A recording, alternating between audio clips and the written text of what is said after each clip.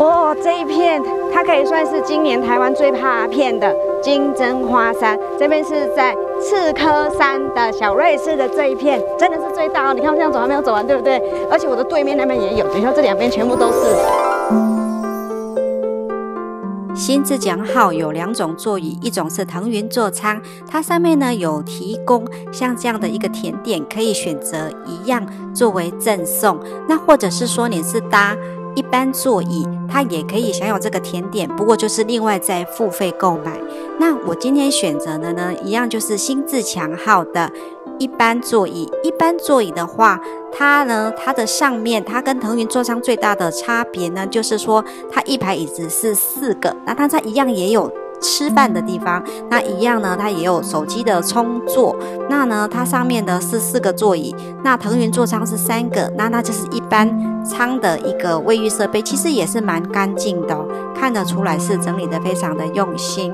然后这边的话，它四个座位，就像你现在看到这样子，那一样，它边边呢也可以看到美丽的花东风景哦。那大概就是这样子。那目前的话，非假日的话，人的话不是那么的多，所以呢，坐起来我觉得是。相当的舒适，那也可以看看外面的风景。那如果说预算上比较有的话，坐腾云座舱是一排三个座，我觉得也是蛮棒的。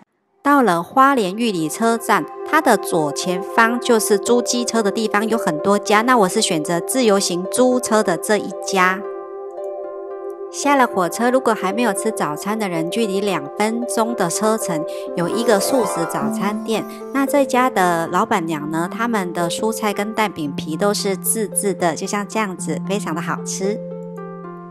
这是机车的视角，沿路都有标示。如果你是租新的话，大概就是五百至六百左右；那如果是租旧一点的话，大概是四百五到五百左右。如果淡季的话是比较便宜一点。那因为有点坡度哦，如果你是要骑很快的人呢，我是建议就是直接租新的，马力比较强。刺科大道这边北，然后这边是南。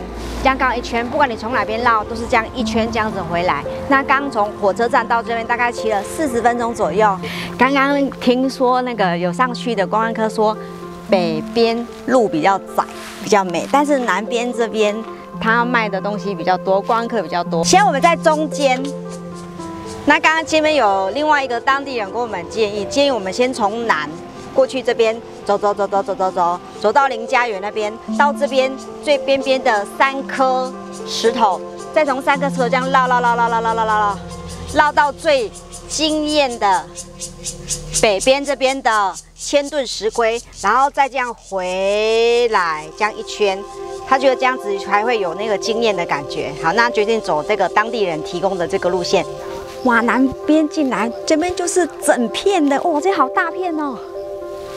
哇，这里太美了吧！你看两边，它整个山坡，哇，太漂亮了。南边的刺客大道一进来就有一整片非常密集的花海，这边真的很惊艳哦，很多人都停在这边拍拍走走的，非常好看。这个是刺客大道的机车视角，那沿路的话花都是有的，非常的好看，像这样一片一片的。然后这边是南边的这边的平台瞭望台，这边也是很漂亮。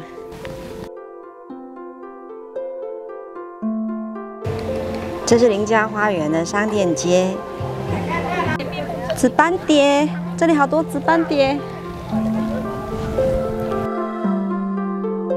这边的话就很多喽，超多的，而且后面还有云海呢，哇，超好看的。我觉得赤科山是全台湾的金针花，它整个最密集的地方。林家园的这一段呢，它有非常多的游客，也有卖吃的东西哟。然后这边的话的装置艺术也已经弄得很漂亮，所以拍照起来是会让人家非常的喜爱。汪家古厝竹林秘境，竹林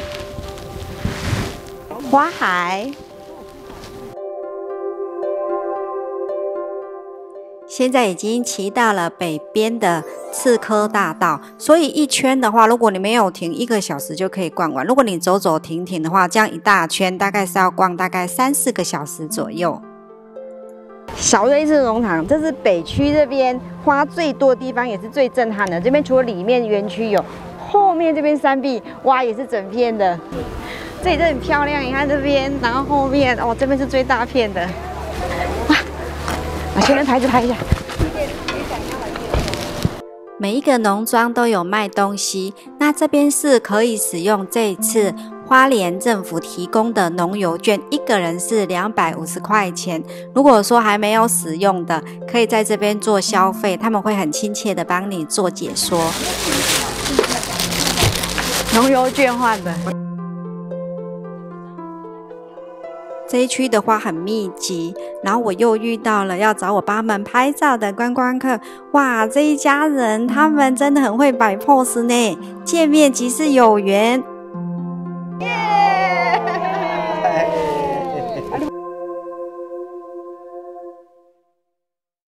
哇，这一片它可以算是今年台湾最怕片的。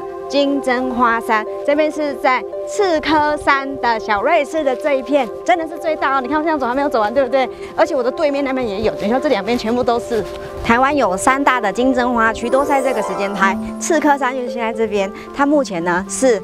最快开花的，那接下来就是六十四山，现在也可以看了。那南部呢，就是会有这个太马里金针花，它稍微花期会比较慢一点，都很漂亮。那这一片的话，它是属于最大片的，我看到过最大的就是这一片，满山满谷超漂亮的。现在目前满开中，一直到九月底。哦，你看我这边呢，现在倒着走回来，有正面的感觉，你是不是看到这边也有，这边也有，这边真是最大片的。那南区那边的话也是很不错，它是一块一块的。那这边的感觉是比较宽阔，两边都是可以的，南区北区都可以一起欣赏，反正就是一圈这样子啦。